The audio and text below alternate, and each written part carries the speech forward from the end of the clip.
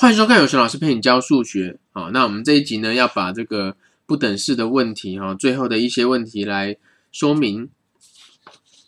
来看一下我们之前作业的这一题哈，同诶全校去旅行，那去住饭店哈，每个饭店的每间可以住的人都一样多啊。如果只订十五间房，会有十二个人没分到房间；如果订的是十七间，会有一间没住满哈。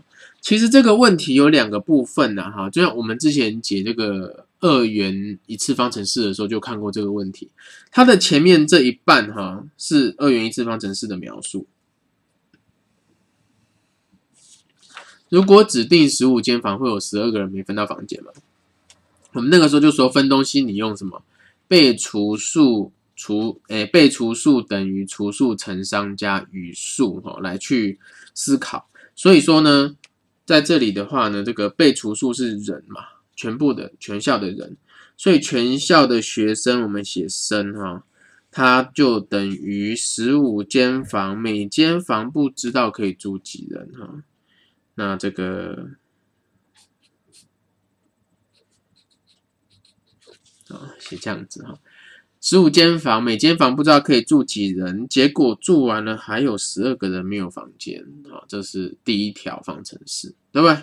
第二条方程式说，如果定时期间有一间没住满，哈，所以第二条其实是一个没住满，没住满到底是什么意思？好，它所以它不是方程式，它是不等式。第二条这里呢，他说没住满，所谓没住满就代表他比他的人比住满少。也就是说，学生的人数呢，其实比定时期间，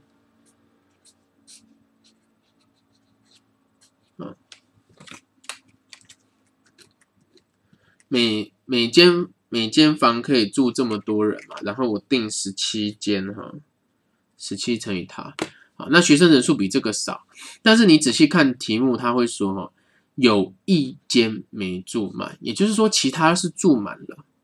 对不对？其他是住满的话，哈，代表其实他的人数呢，呃，是住满到剩下那一间没住满而已，哈，也就是他其实比住十六十六间都住满了，还有一间没有住满，那有人住但是没住满，也就是说，其实他比十六间房的人还要多，啊，一房这么每个房间这么多人，哈。有十六间房间，那所以这两个式子取联立啦。那一般呢，这个你会看到解答哈，他会这么说，就是我们可以设哈设每间住 x 人哈，也就是说这个是 x 的话，那它也就不设这里了啊，因为它就用代入的嘛，代入消去法，你把这个带进来。所以你就会得到一条不等式，是这个十五 x 加十二会小于十七，x 会大于十六 x，可以吗？好，那这样子去求解哈。所以十五 x 加十二大于十六 x，换句话说，x 小于十二，且十五 x 加十二会小于十七 x 哈，所以其实二 x 大于。十二，也就是 x 大于六。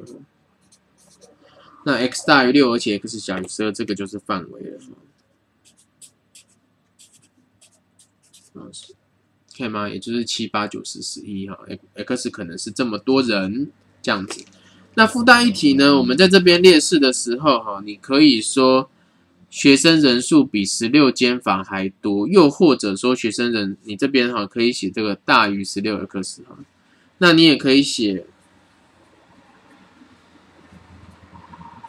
大于十六 x，它是大于等于十六 x 加一呀，哦，也就是说，它有可能就是刚好多一人嘛。那我比我有可能是这样，或比它更多，啊，那其实这两个式子的写法是在逻辑上是不一样的。可是因为我们这一题解的这个，不管是每个房间住几人的这个 x 哈，还是学生人数都是整数，所以这样子这一题如果你写这样子，啊，这样子。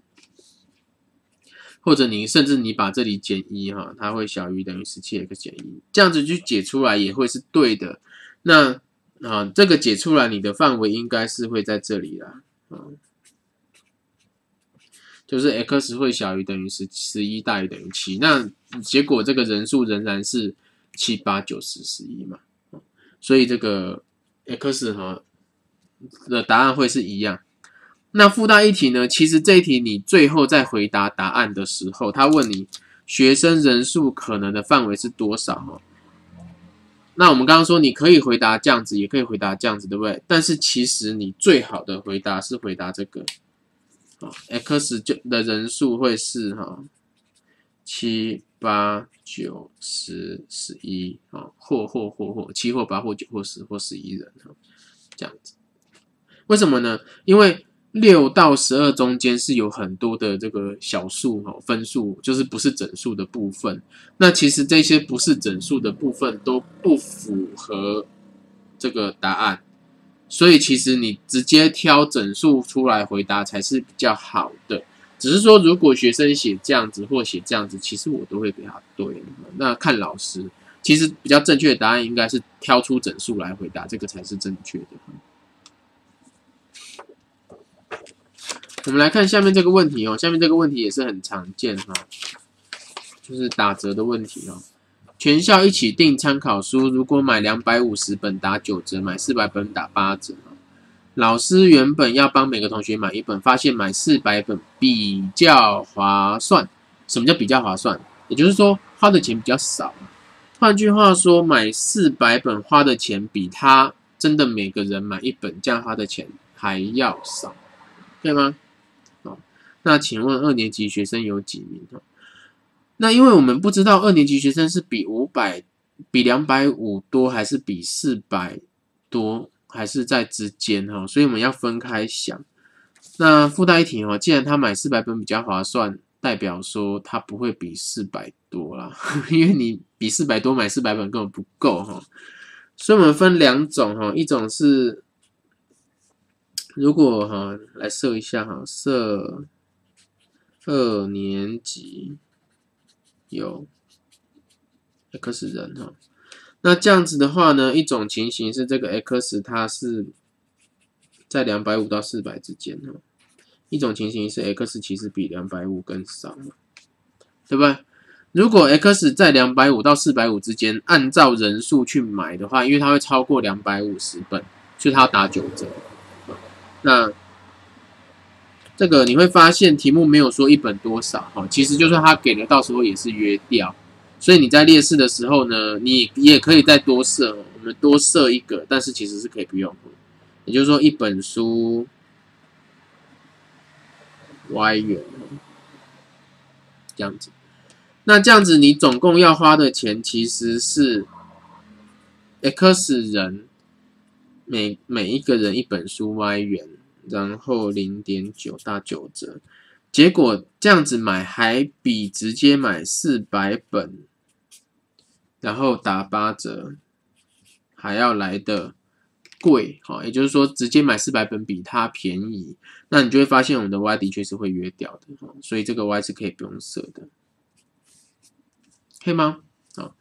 那所以你会得到这个零点九 x 会大于零点八乘四百是三百二十啊，所以 x 会大于这个零点九分之三百二十，也就是九分之三千两百啊，这样是多少啊？那要除一下哈，九三二十七啦，五零五五零也是五五零。五四五余五，所以它其实是三五五又九分之五。那这个题目哈，他问说二年级共有几名学生，其实问的不太好，他应该是要问最少有几名那 x 要比三五五又九分之五大，所以最少是三五六名，可以吗？那当然，你可以说它最多不会超过四百哈，因为超过四百，它就不可能说买四百本比较划算了。这样子，你要有没有可能 x 其实小于两百五呢？也不能说不可能嘛。如果 x 其实小于两百五的话，它就必须照原价买书，也就是说，它其实是 x 乘 y 会大于四百，还是可以打八折。那你这样子会求到 x 其实会大于这个三百二。那姑且不论这个范围对还是这个范围对呢？你前提是 x 小于两百五，却解出 x 大于三百二，这两个就矛盾了，所以这个就不能要了。哦，所以其实 x 是最少要有三百五十六人啊，这是他们班。然后在这个作业里面问大家一件问一个问题哦，我们常常去 Seven Eleven 会看到这个第二件打八折，这样打几折？第二件才有打八折啊，第一件没有打哈，所以第一件是照原价嘛，第二件是打零点八嘛，对不对？好，第二件打零点八，第一件原价合起来是一点八哈，那其实你买了两件，所以其实它去除以二哈。那其实每件是零点九折，所以其实第二件打八折是打九折，就是两买两件就打九折的意思。那如果第二件打的是六折，就是一样的道理哈，一加零点六是一点六除二哈，所以第二件打六折其实是买两件打八折。那你可能会想说，为什么他不直接讲买两件打八折？或者说为什么他不直接讲打打八折，要讲第二件打六折？第一个就是说这个六看起来比较小啊，比较诱人啊。第二个就是他就是要逼你买到两件才要帮你打折，买一件是不打折的，可以吗？当然，他假如讲买两件打八折，跟第二件打六折意思是一样的，但是就是我刚刚讲这个六的数字比较小，感觉折扣好像比较多，这个也是一种行销手法。来看另外。另外一个作业哈，小明前两次段考数学平均五十三，如果第三次平均要及格哈，那第三次要考多少？那这个问题其实我们前面教过，就是说你想到平均就想到总分嘛，可以吗？想到平均就想到总数的话，其实两次段考平均五十三合起来是一零六啊。那第三最后三次要及格啊，三次要及格，三乘六十是一百八十哦，所以他其实要考多少？一百八减一零六，七十四，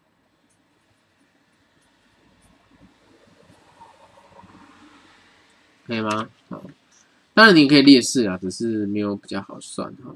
来看这里，等腰三角形底角不大于四十度，那顶角的范围嘞？不大于四十度。这样子，底角不大于四十度，所以这个四十，这个四十，啊，那这样子，它不大于四十度，也就是它会小于四十或等于四十啊。那这个顶角呢，它是三个内角合起来一百八，所以它的顶角是一百八十减掉两个可能会小于四十的东西，合起来是小于八十，对不对？如果它这个是 x 哈，x 小于四十二，x 小于八十，那一百八减二 x 嘛，所以其实呢，这个一百八十哈减掉二 x 呢，然后 x 会小于等于四十哈，所以一百八十减二 x 的范围，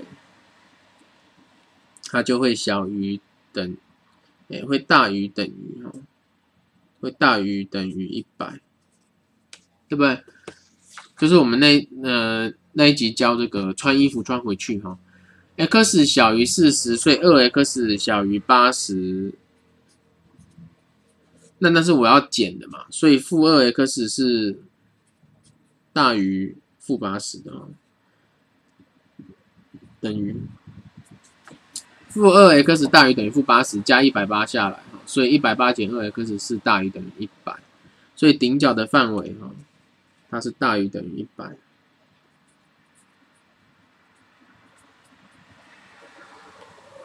可以吗？那顶角要注意每个角度它都不会比一百八十大哈，所以它要小于一百八。如果你这边我刚才这里的这个范围它是写成不小，我是写不大于嘛？如果它是写不小于呢？不小于的话，刚才这里啊，我们在这边算哦。如果说 x 是不小于，就是会大于等于哦，大于等于四十，那。一样负二 x 会小于等于八十，那同价一百八十哈。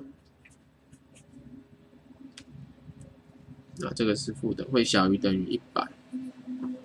也就是说，如果刚才这里哈，它是底角不小于四十度，你解出来的是会小于一百，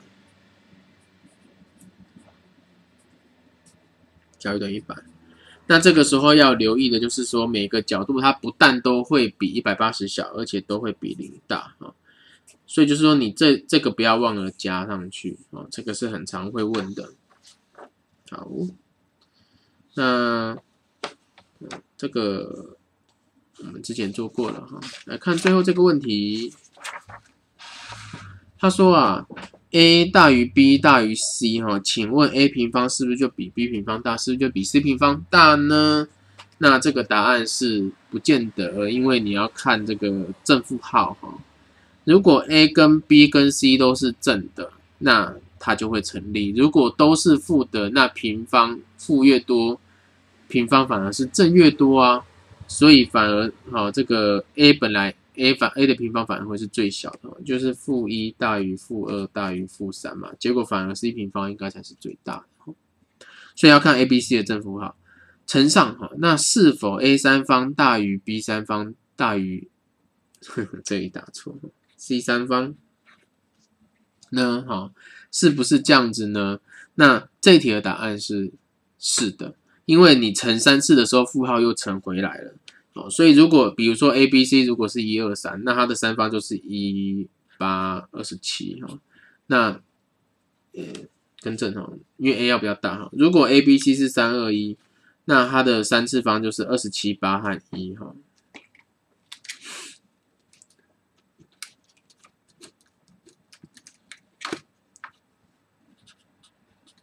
那这样子的话没有错，A 的三次还是会比 B 三次大，比 C 三次大。如果它的三方是一二三，那其实它那如果它 A B C 是负一、负二、负三，那其实它三次方是是负一、负八和负二十七那仍然是 A 的这个比较大。所以这两个问题上面这个平方的是不一定哦。那下面这个是是的哦，在这里提一下。那我们上到这里呢，就把有关不等式的知识都教了哈，还教了一些课外的知识哈，就是有关绝对值的推论啊。那之所以在这里个单元就教的原因，是因为我们后面也没有什么单元能够让我们回头过来看这一段范围的知识，可是到高中却很有可能就直接要使用了哈，所以我也会建议老师跟家长们，可以的话尽量就在这个范围里面。稍微的补充一些这种绝对值和不等式的推论。那我们的课上到这里。